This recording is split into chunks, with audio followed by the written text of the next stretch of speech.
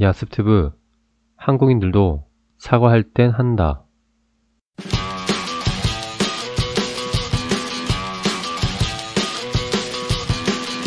고시초 아리가또 고자이마스. 今日の動画タイトルとりあえず 우소 시나이도 손수를 한국 今日はこれについて話したいと思います。本動画とは別で、今日は3月1日です。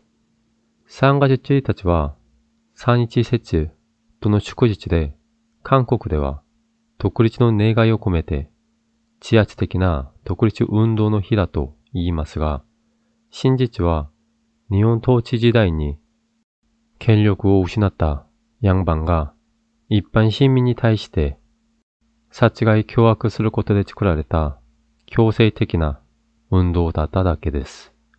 詳しい内容は私の過去動画をご覧ください。私が前の動画で話したことがあります。韓国では謝ってはいけない。韓国で謝るのはもう私を攻撃してもいいです。という意味を持っています。政治家はもちろん、芸能人のような個人は、このような韓国社会の特性をよく知っているので、絶対簡単に謝りません。このような韓国の社会的な特性は、ますます若い世代まで続いています。当然の現象だと思います。これは今になっての話ではなく、過去から続いてきたため、このままだと謝るのを簡単にしないことが韓国の一つの文化になるかも。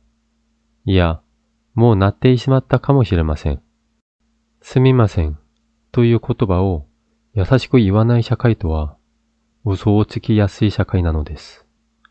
야습튜브한국인들도사과할땐한다はい、そうです。韓国では謝るタイミングがあります。そのタイミングとは、もうこの以上嘘が通じないとき、たまにある問題を 早く解決したいとき、適当に謝る場合もありますが、もう二度と嘘がつけない完璧な物証、証拠を目の前に持ってきてこそ、その時、ようやく謝ります。この前、イーナルチという韓国の有名なバンドのテレビ番組公演が話題になったことがあります。ん？イーナルチ？初めて聞くんだけど、誰だ？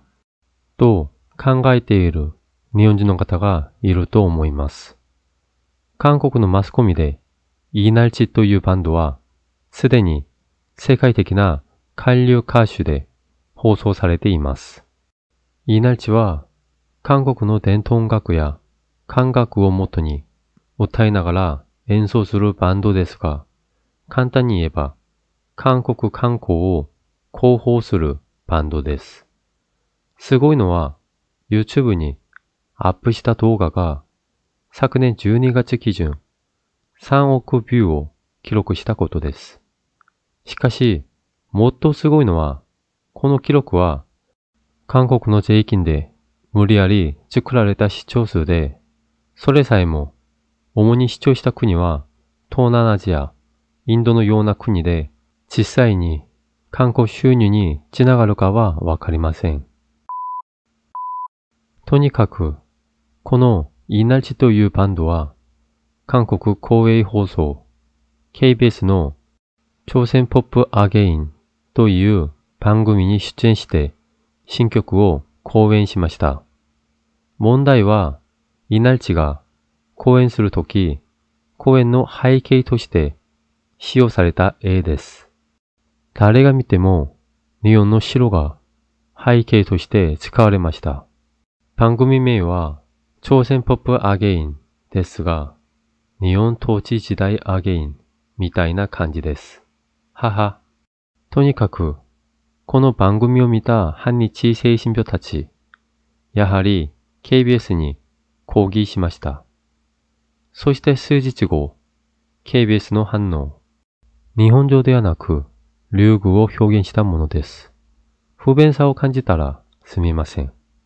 さあ、この誤りの方式は、私が最初に話したある問題を早く解決したいとき、適当に謝る場合に該当します。普通はここで終わる場合もありますが、韓国は反日の国です。理由に関連することは簡単には終わりません。結局、一人のネチ人によって背景として使用された絵の趣旨が明らかになりました。はい。やはり日本の城でした。絵の出所のタイトルも日本の古城で記載されています。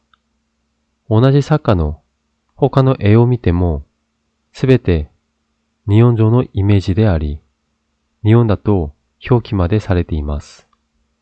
そして結局、この事件は証拠が目の前に出た時点になってから、KBS は日本の城を誓ったことを認め、謝りました。KBS は次にも似たようなことがあっても簡単に謝るのか絶対しないでしょう。今回は運が悪かったと思うでしょう。KBS だけでなく韓国の公共機関、個人などなど謝ったとき社会の反応をよく知っているので、絶対簡単に謝りません。日本には存在しない被害を作って謝罪を求めますが、その要求の本音も一生日本の呪って攻撃するためです。未来の関係のために韓国に謝罪しなければならないという日本人の方々。謝った瞬間、韓国はもっと大きな声で攻撃するし、もっと大きなものを要求するつもりであり、日本がその要求に応じないとき、また日本の謝罪には真の心がないとし、また被害者コスプレを始めます。韓国がせめてマーナを守ろうとする国を想像してください。中国、そして北朝鮮だけです。中国と北朝鮮が韓国に対してしっかり謝ったことがありますか？ないです。謝罪したこともないし、